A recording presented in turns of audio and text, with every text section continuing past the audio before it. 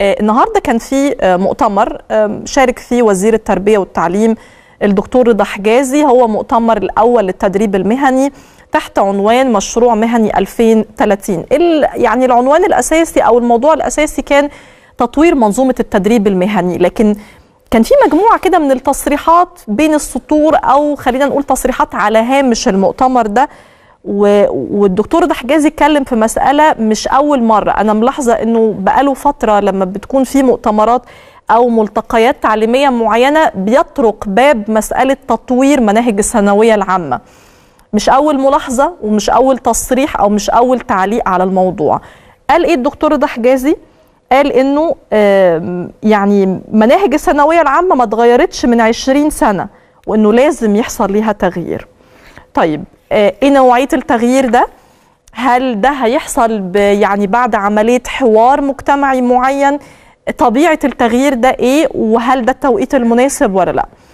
أنا معايا الأستاذ أيمن صقر مدير تحرير وكالة أنباء الشرق الأوسط. مساء الخير واهلا وسهلا بحضرتك في الخلاصة.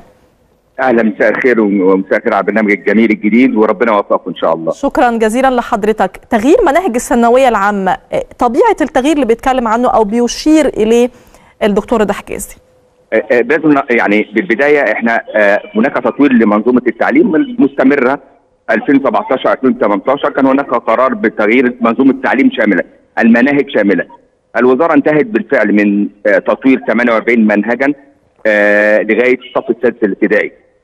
والآن في مناهج الصف الأول الإعدادي سيتم النهارده برضو الوزير في المؤتمر طرح اللي هيطرح بعد انتهاء من الاطر الاطر العام للمناهج الإعدادية هيطرح مناقصة ليه عشان تأليف الكتب وما يتعلق بمناهج الصف الأول الإعدادي. هناك تقديم تطوير المناهج بيتم على مراحل. هذا العام الصف الأول الإعدادي لأنه العام المقبل إن شاء الله اللي هو 24 25 سيكون هناك أول تطوير للصف الأول الإعدادي. وبعد وذلك الصف الثاني الإعدادي والثالث الإعدادي. ولكن بالنسبة للثانويه العامة كما تعليمين حضرتك ان الثانويه العامة نقطة تحول لأي طالب. هو المسار للطالب دخول التعليم الجامعي. مفهوم وبالتالي طبعا. وبالتالي بالتالي تطوير لازم يكون هناك نوع من التأني أو في مرحلة طيب الثانوية العامة. أنا متفهمة ده وفعلا بضم صوتي لصوت حضرتك. لازم يكون في تأني بالذات عند أي تناول أو تعاطي مع فكرة الثانوية العامة. يعني فينا ما يكفينا من من بعبع بخصوص الثانوية العامة. لكن برضو عايزة أعرف تصورات حضرتك لما وزير التربية والتعليم يتكلم عن تعديل في المناهج. بطريقة إيه؟ هل بطريقة شكلية تتعلق بإجراءات الامتحانات، موضوع التحسين، موضوع التنسيق مع وزارة التعليم العالي ولا تغييرات جوهرية في طريقة التعلم في الثانوية العامة؟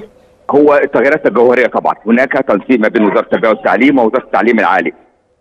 مخرجات الثانوية العامة ماذا تحتاج الكليات والجامعات من طالب الثانويه العامه، هذا هو التغيير، هناك تطوير المناهج وتطوير الدراسة ونواتج التعلم في الثانوية العامة. هناك حوار مجتمعي كما تعلمين. هناك حوار مجتمعي هيشمل الوزارة قيادات الوزارة الخبراء التربويين أولياء الأمور طلاب ثانوية عامة لتبادل الاراء حول المناهج الجديدة. تحديد المسارات للطالب. يعني اختياره علمي أدبي علم علوم علوم الرياضة. تحويل مسار لمسار آه يعني يقدر طالب لا دي نقطة مهمة. التحويل ما آه. بين المسارات يعني اللي يخش أدب يعرف يخش بعد كده أو يحول علم رياضة مثلا؟ ممكن لو ما قدرش شايف إن هو ميوله علمية أفضل والكلام ده هذا كله تحت التجربة إن هو يكون هناك تحويل مسار من ادب العلم أو علم الأدبي. الثانويه العامه أن يكون هناك بتحسب إزاي الدرجات؟ درجات إن هو يكون بدل ما ثانويه عامة سنتين ممكن ثلاث سنين ياخدها في سنتين. تقليل سنوات الحصول العامه بالنسبة لتحسين الثانوية العامة الطالب ممكن حصلت أي ظروف لاي طالب في امتحانات ممكن يدخل دور ثاني بالدرجة الكاملة. كل هذه الآراء كل هذه المقترحات مطروحة بالفعل. انت هياخد فيها قرار؟ أو إن أنا أقول إن فعلا في منهج جديد أو نظام جديد ثانويه عامه آه بعد الحوار المجتمعي وبعد الوصول إلى النقاط هناك نقطة تلاقي ما بين جميع الأطراف للوصول اهم الأهم مصلحة الطالب. آه والأهم أكثر أن يكون آه مخرجات الثانوية العامة آه تفيد الطالب في التعليم الجامعي وليس آه. مجرد وعشان كده اتكلموا عن فكرة الربط ما بين وزارة التربية والتعليم ووزارة التعليم العالي. بالفعل بالفعل هو تعاون بين التعليم التعليم العالي والتربيه والتعليم. بشكرك. شكرا جزيلا الاستاذ أيمن صائر خلاصة القضية دي أو القصة دي إنه ما ينفعش نرفض فكرة تعديل أو تغيير المناهج لمجرد الرفض. لكن في نفس الوقت لازم نكون حذرين جدا وإحنا بنتعامل مع مرحلة مهمة أخذت مننا يعني يعني صعوبات كتير جدا على المستوى النفسي لأولياء الأمور على المستوى النفسي للطلبة على المستوى الاقتصادي مع انتشار ظاهرة الدروس الخصوصية تحديدا في الثانوية العامة. في إرث معين متعلق بالثانوية العامة في أذهان المصريين وفي المجتمع المصري. لما نيجي بقى نفتح في الملف ده نشرح كده فيه لازم نطور للأحسن مش نضيف الأعباء للأسر المصرية. ده يحصل إزاي؟ بحالة حوار مجتمعي حوالين تطوير مناهج الثانوية العامة عشان نضمن إن الكل على نفس على نفس النقطة أو الكل متفق على نفس الأساسيات. ما نبدأش حاجة ونرجع بعدها نفاجئ برفض ومقاومة شديدة ونفاجئ إنها قد تكون غير واقعية.